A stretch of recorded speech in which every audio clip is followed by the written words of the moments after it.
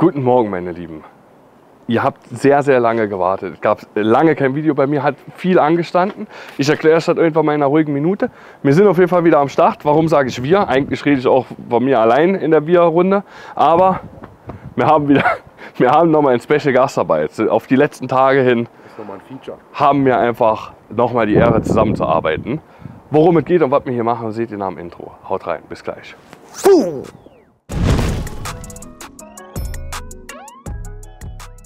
So, guten Tag, meine Lieben. Also, was steht an oder warum war lange still um mich? Letzte Woche gab es ein Video, das hatte ich einfach noch auf dem Computer, kam aber seit Ewigkeit nicht dazu äh, zu schneiden. Wie ihr wahrscheinlich mitbekommen habt, ich mache mich selbstständig. Ich habe jetzt noch genau drei Wochen, dreieinhalb Wochen und dann geht es erstmal noch mal ab in Urlaub und dann geht es in die Selbstständigkeit. Ich mache dazu auch mal noch ein ausführliches Video, wie ich das gemacht habe, wie das auch funktioniert hat ohne Meister, weil die Fragen kamen äh, häufiger mal auf. Darüber kommt mal noch ein ausführliches Video. So, jetzt dreht es sich aber um Bausteller. Gell? Wir sind noch mal da. Es wird ein kurzes, knackiges Video, weil wir heute den letzten Tag hier haben. Dann machen wir Pause aufgrund vom Wetter. Ab nächste Woche geht aber weiter. Ist eigentlich eine schöne Baustelle. Auch relativ interessant, würde ich behaupten. Beste vom Besten, ey. wirklich das Beste vom Besten. So schön Arbeit. Genau. Also, wie ihr seht, ihr seht den Thomas hat schon mal angezogen, bereit gemacht. Also, wir haben hier eine Terrasse. Ich würde behaupten, 18 Quadratmeter, glaube ich, ungefähr groß. Ne? Ähm, vier Stufen, beziehungsweise mit oben dem Eintritt in die, in die Wohnung haben wir fünf Stufen. Wir haben alles abgerissen. Wir haben auch den Estrich mit abgeklopft. Wir haben hiermit angefangen, mit den Maschinen. Und haben relativ schnell festgestellt, dass das Spielzeug ist. Gehen den Estrich. Und dann waren wir uns hier diesen Presslufthammer holen auf dem Lager. Und damit geht es. Also der macht den Boden schon, stemmt den auf. Ihr seht es hier. Aber was ihr auch seht, wir haben hier diese Estrichmatten drin und das ist einfach eine Katastrophe. Das Ganze muss raus. Man hätte, meiner Meinung nach, sage ich euch ehrlich, hätte man den Estrich drin lassen können, weil der einfach bombenfest ist. Kleber abfräsen, neue Abdichtung drauf und neue Fliesen legen. Aber Auftrag ist halt Estrich mit rausholen. Also gehen wir hin und bummen den Estrich raus. Wir sind jetzt schon seit zwei Tagen dran und haben bisher, ja, was haben wir hier noch? Drei, vier Quadratmeter. Na, also es war schon nicht so geil. Ähm, genau. Das heißt, wir stellen jetzt. Was ist hier mit dem Licht los? Ey? Da sind wir schon draußen und haben so miserable Lichtverhältnisse. Genau, das heißt, wir stellen jetzt gleich Stativ auf, da guckt ihr einfach ein bisschen zu im Schnelldurchlauf, ihr kennt das ja. Ähm, ja, wir bummen den Rest jetzt raus, dann bereiten wir die Stufen noch vor und dann machen wir wahrscheinlich Pause. Ne? Weil morgen soll es regnen, am Wochenende soll es regnen. Wir machen Pause und starten dann nächste Woche mit dem Estrich. Und ich glaube dann, die Woche wird relativ interessant, weil da machen wir auch Abdichten mit Ditra Train und so. Denke ich, wird ganz gut. So, wir starten und machen nochmal Pam, Klamedi, sagen sie in Luxemburg. Ne? Radau, Palava, Remi Demi. So, Freunde, geht jetzt los. Ihr seht, hier steht schweres Geschütz. Wir fangen jetzt einmal an, damit ihr schön hört, wie es sich anhört. Ratatatata. Und dann geht es über in den Schnelldurchlauf, ne? wie man gewohnt ist. Zieht, zieht Ohrenschützer an. Die ist gut schwer, die Maschine. Opa!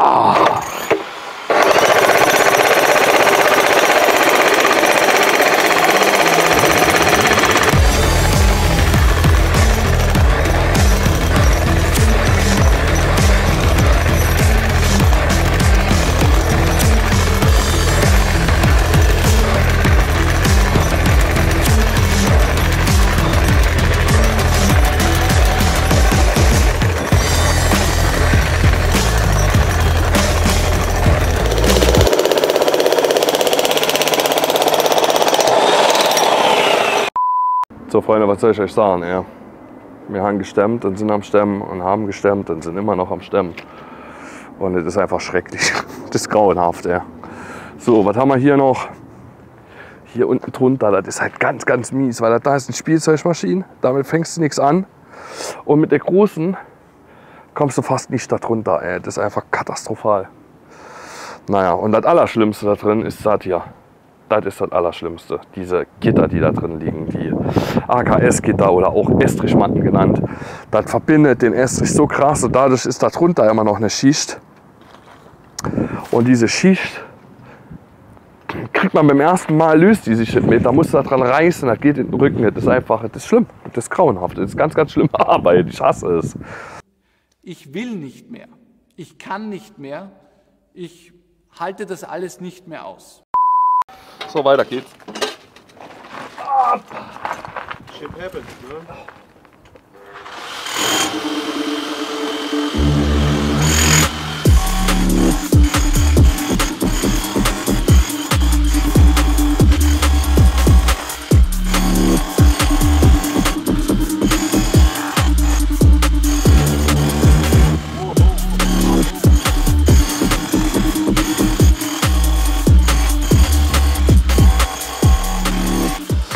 So, Leute, wir haben jetzt Meister abgestemmt. Müssen hier immer mal wieder ein bisschen nachstemmen, wo das Gitter noch drin liegt, aber das Gröbste ist gemacht. Äh, wie gesagt, das Gitter ist das Mieseste. Also, was gibt zu sagen? Sieht man mich überhaupt? Ja, man sieht mich. Ähm, ja, ob man das jetzt hätte alles abstemmen müssen, weiß ich nicht. Wir sind natürlich Angestellte, wir machen das, was wir als gesagt bekommen, als Auftrag. Ne? Der Estrich raus. Ich finde, der Estrich war noch super hart, super fest. Gut, das sieht man natürlich vorher nicht. Aber ja, war jetzt Arbeit, muss man sagen. So.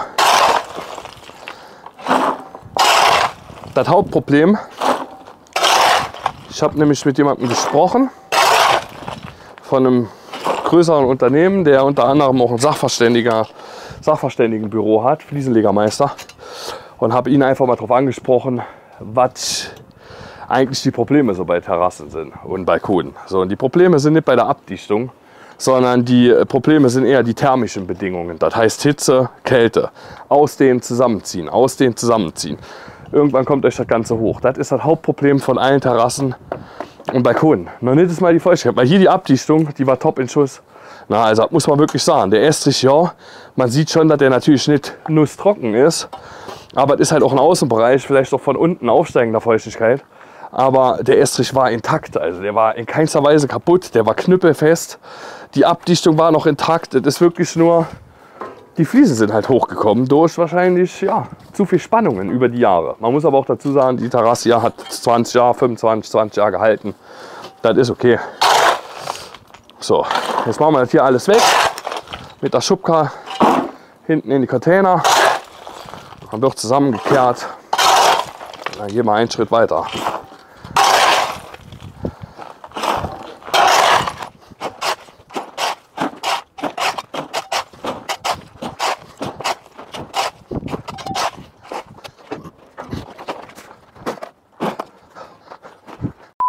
So Freunde, jetzt kommt das Geländer weg.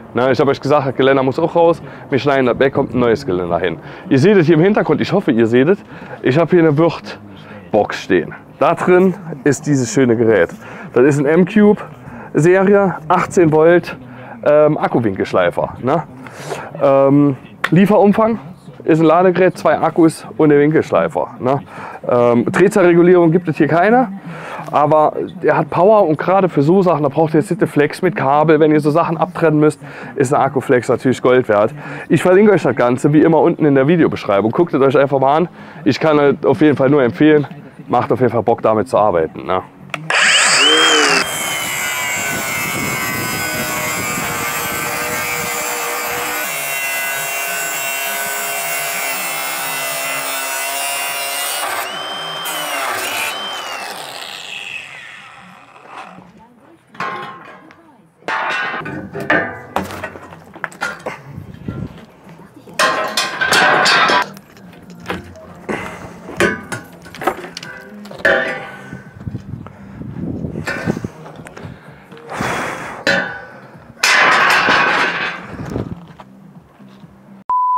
So Leute, ihr habt gesehen, ruckzuck ist Geländer weg. Ne? Metallscheibe ist natürlich jetzt auch ein bisschen runter, aber das hat super geklappt. Wie gesagt, das Ganze kommt im Koffer, Ladegerät, zweiter Akku. Ne? Hier ist noch ein Akku übrigens auch mit, ähm, wie sagt man, Füllstandsanzeige beim Akku, weiß ich nicht. Auf jeden Fall Ladekapazität, gell? damit ihr seht, wie viel geladen ist. Ich kann nur empfehlen, bin super zufrieden damit und ihr habt es im Koffer. Übrigens, dieser Orsi Systemkoffer könnt ihr auch aufeinander stapeln, gell? miteinander verbinden quasi feine Sache. Ja, Geländer ist weg, würde ich sagen. Unsere Container sind leider voll. Das heißt, äh, wir müssen jetzt den Restmüll hier liegen lassen ähm, und machen morgen weiter. So Freunde, ich will euch einmal kurz erklären, was wir jetzt gemacht haben. Ich will aber nicht zu viel hier drauf eingehen, weil wir machen nächste Woche den Estrich und dann hole ich das Meer rein. Wir haben einmal einen Laser aufgestellt und haben uns die Höhe hier vorne geholt. Wir wollten eigentlich auf die Höhe von den Waschbetonplatten, dann haben wir aber das Problem, die, äh, die Bodenplatte ist schief betoniert. Dann haben wir das Problem, dass wir hier hinten einfach viel zu wenig Estrich drauf kriegen. Wir haben einen Aufbau von zweieinhalb Zentimeter. Hier kommt, äh, zweieinhalb Zentimeter. Hier kommt äh, Abdichtung drauf, hier kommt die Dita Train, die hat einen Aufbau von einem Zentimeter und hier kommen noch Fliesen mit Kleber. Na, das heißt, zweieinhalb Zentimeter brauchen wir. Und die müssen wir dann natürlich tiefer bleiben. Dementsprechend kommen wir dann hier relativ dünn mit dem Estrich. Also haben wir gesagt, okay, wir ziehen das Ganze ein bisschen höher, haben uns einen Laser aufgestellt und haben hier unser Meterriss einmal rumgemacht. Meterriss, ne, immer OKFF, heißt Oberkante fertig Fußboden. Von da aus, im Prinzip hier ist unser Startpunkt, ein Meter, ist nachher unser fertig Fußboden.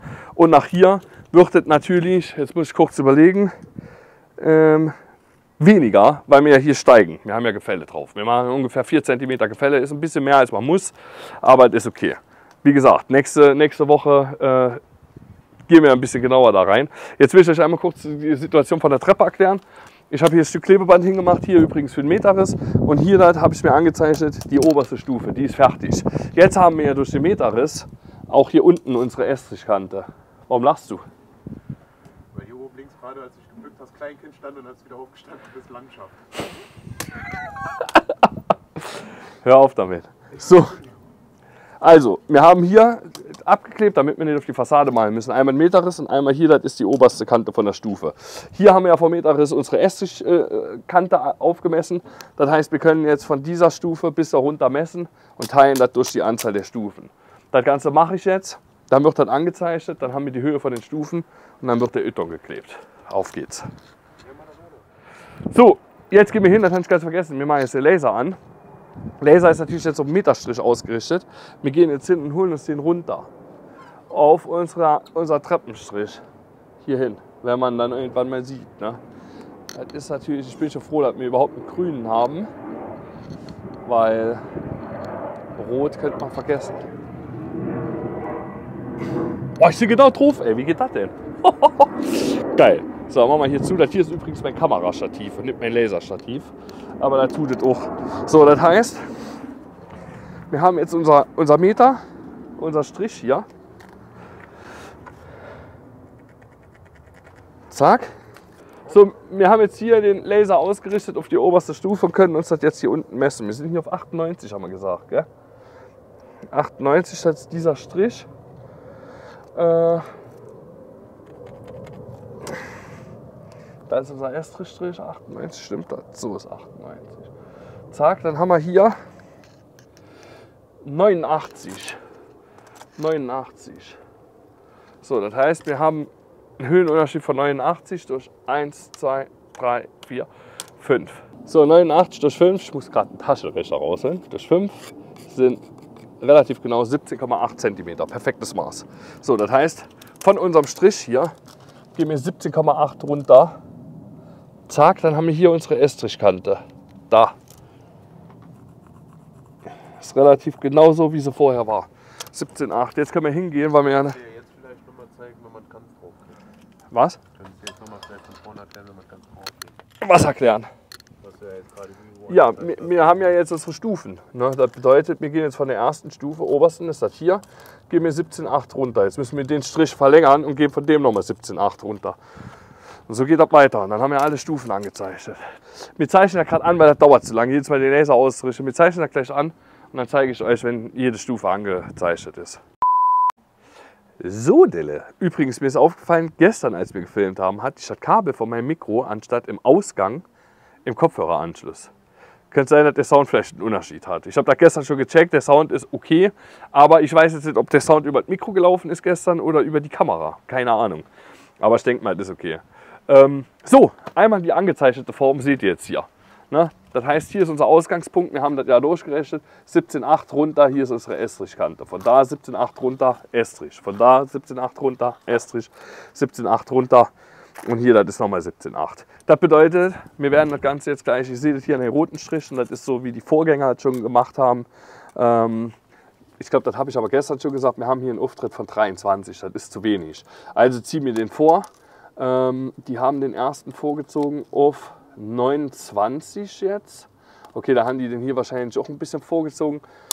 Ähm, oder 28 waren fertig und dementsprechend ist das natürlich über Stufe für Stufe wird das mehr. Deswegen haben wir die Ytong-Steine. Ja, Ytong ist natürlich nicht optimal für den Außenbereich. Ne? Also bitte verurteilt mich jetzt deswegen. Aber es werden komplette Häuser auch mit Ytong mittlerweile gebaut. Und zweitens, in unserem Fall wird ja eh alles abgedichtet. Hier kommt Dichtband drauf, hier kommt Kerdi drauf, mit Kerdi Keul, die ganzen Dichtbänder, Dichtecken. Das heißt, wenn wir das Ganze abdichten, passiert dem Ytong auch nichts. Wichtig ist natürlich, dass wir nachher abdecken, dass über das Wochenende nicht nass wird, falls es regnen sollte. Ne? Aber sonst, ich weiß, es ist nicht optimal, aber abgedichtet macht das dem Ytong nichts. So, das heißt, wir mauern das nachher. Übrigens, was wir auch machen, wir mauern das ja im Prinzip, weil wir zur, vorziehen müssen. Das hier haben wir uns angezeichnet, weil wir uns das direkt so mauern wollen, dass wir direkt auf der richtigen Höhe sind. Ne? Das Ganze machen wir, indem wir uns hier eine dünne Schicht Estrich ziehen und da unser, äh, unser Stein drauf stellen, weil hier ist einfach zu viel Gebuckel, um da sauber einen Stein hinzustellen. Ne? Deswegen machen wir eine dünne Schicht Estrich, stellen unser Stein sauber drauf und stechen den dann ab, dass der uns daher nicht stört, wenn wir unser richtigen Estrich machen. Ne? So, jetzt ist erstmal Mangiare, dann geht's weiter. So Freunde, wir haben die zwei Stufen schon gemacht, oben die auch. Jetzt stellen wir die letzte. Machen hier ein bisschen Estrich. Thomas hat ein bisschen gut gemeint. Mit dem Anteil an Wasser. Aber das ist nicht schlimm, das kann man machen. Zack. Alles raus. Schön verteilen. Ich wollte das zuerst abziehen, wie eine Leere, aber habe mir dann überlegt, das braucht man gar nicht. Kannst du mir den Stein geben, ey? Zweimal so gut. So. Da ist unser Strich, wo wir hinwollen. Kleber hier drauf für an die Wand. Und einmal unten vorbei für in den zu klopfen. So, jetzt haben wir natürlich hier unser Zollstock. Wir haben die Stufen auf selbe Maß gehabt. Hier, die brauchen wir ja nicht vorzuziehen, weil hier haben wir unser Podest. Also sind wir hier auf 29,5 hat sich hier draus ergeben. Sind wir hier auf selbe Maß natürlich gegangen, 29,5. Ähm, und gucken, dass wir hier auf selben Maß sind. Da müssen wir noch raus und vornäht. So. So ein Gepiddelhai, ja. So ein Aufriss für drei Stufen. So, da sind wir da. Und da sind wir da. Zack. Dann natürlich mit der Wasserwacht kontrollieren. Hier können wir nicht mehr viel runter, weil wir da schon am Strich sind.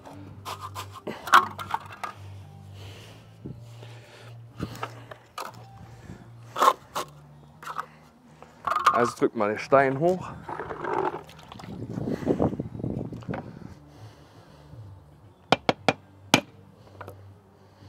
Schön abstechen, weil das stört uns sonst nachher. Das sieht gut aus. So, nächster Stein ist geschnitten.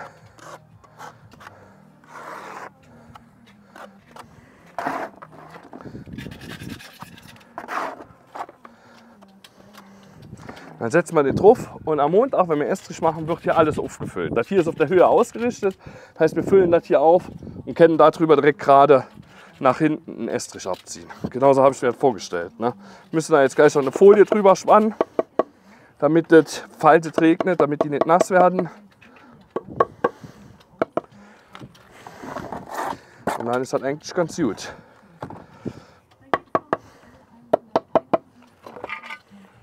So, hier die Wange, die wird eh noch verputzt. Wow, super. Die Flucht stimmt auch halbwegs.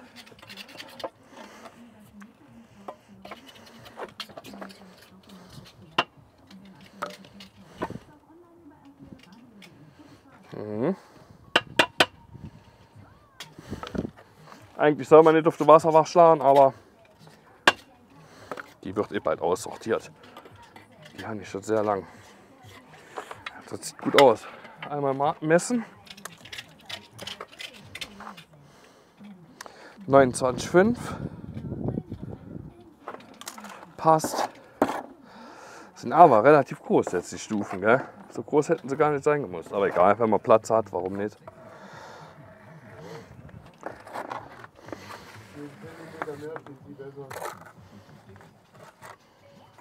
So, Rest abstechen. Kann man einfach dahinter schmeißen.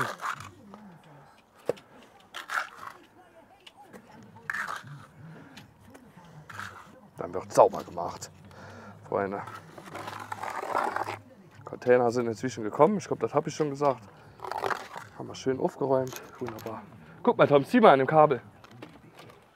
Pass auf den Ding.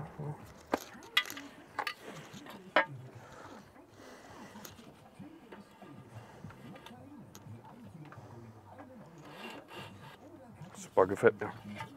So bleibt das. So, ihr Lieben. Woche ist schon wieder vorbei.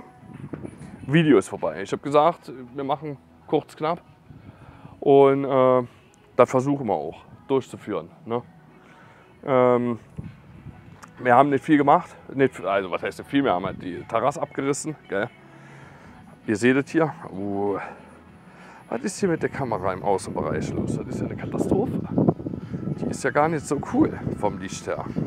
Naja, also Terrasse abgerissen, haben wir länger gebraucht als gedacht. Wir waren jetzt, machen wir das Radio aus, wir waren jetzt dreieinhalb Tage damit zugange tatsächlich. Waren Estrichmatten drin, war hart wie eine Sau, war so nicht geplant. Ähm, ja, Stufe haben wir hier vorgezogen, so wie ich gesagt habe. Ne? Bisschen hier noch mit Estrich aufgefüllt. Und hier haben wir das Ganze auch vorgezogen und das wird natürlich auch verfüllt. Ne? Alles ausgerichtet, auf den Strich ausgerichtet, in die Waage ausgerichtet, in die Flucht ausgerichtet. Das heißt, wir haben direkt unser Stoß, wo wir unsere Fliesen dran kleben können und haben direkt unsere Oberkante, um den Estrich abzuziehen. Ne? Das heißt, dieser Hohlraum wird natürlich noch komplett gefüllt. Ja, so viel dazu. Nächster Schritt ist jetzt gleich noch Folie drüber abhängen. Ähm, da dazu ist, damit kein Regen dran kommt. Und am Montag, für Montag ist direkt Estrich bestellt. Ein Kubikmeter haben wir bestellt, beziehungsweise 1,2 Kubik. Ähm, ein Kubik für auf die Fläche und nochmal 200 Liter für die Treppe und das Podest. Ich denke, das sollte reichen. Ne? Wir sind zu zweit, ich ziehe ab. Thomas bringt bei mit der Schubkar und dann muss halt klappen. So, das war's jetzt. Ich hoffe, das Video hat euch gefallen. Es war ja, nicht so informativ, weil jetzt einfach mal ein bisschen Abriss auch war. Aber ich denke, die nächste Woche wird noch ganz cool. Ne? Deswegen bleibt auf jeden Fall dran. Nächste Woche steht viel an, auch mit Fliesenlegen, mit Abdichten und so. Deswegen, ne? wenn euch das Video gefallen hat, wie immer Daumen nach oben, gell? Glocke abonnieren. Ich bin jetzt wieder häufiger am Start. Hatte eine kleine Pause. Hm, Wenn euch so ein Video über Selbstständigkeit, wie ich das angegangen bin, einfach mal interessiert, schreibt es gerne mal in die äh, Kommentare unten und dann versuche ich da wirklich mal ein ausführliches Video drüber zu machen. Na, in diesem Sinne, ich bin jetzt raus, ich wünsche euch ein schönes Wochenende. Ah nee, es ist ja schon Sonntag. Ich hoffe, ihr hattet ein schönes Wochenende. Ich wünsche euch noch einen schönen Sonntag. Bis zum nächsten Mal. Euer Fliesenleger. Ciao.